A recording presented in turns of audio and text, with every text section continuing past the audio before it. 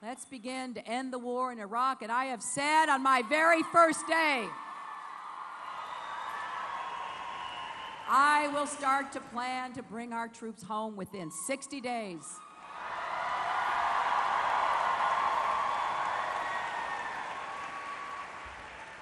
I will do this carefully and thoughtfully because I know we have some veterans in this audience, and you know how hard and dangerous it is to withdraw troops and equipment. And we have to take care of our civilians who are there. We've got to figure out what to do with the Iraqis who helped us. So we need a president and a commander in chief who understands that we have to withdraw from Iraq.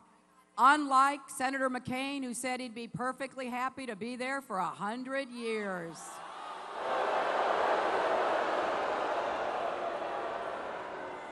I just want you to think about this. I believe that we can have an election this time where all of the issues, including national security, are ones that Democrats can stand and proudly promote.